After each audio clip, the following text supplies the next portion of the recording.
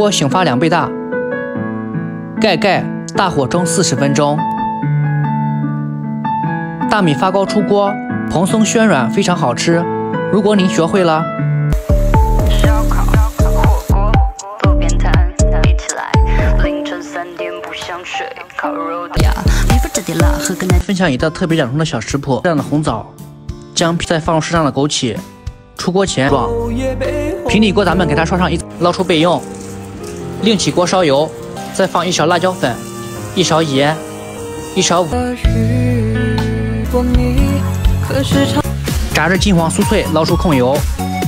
锅留芋圆煮浮起来就好了，给它捞起来过一下凉水。我买这个是盒下一包才七块多。煮好芋圆先放到冰沙上面，我慢炸。我每天都在用心的教做菜，头都想大了。再过几天就要过年了。家里有豆腐的，一定要试试这样。我每天都在用心的教做菜，头都想大了好几圈。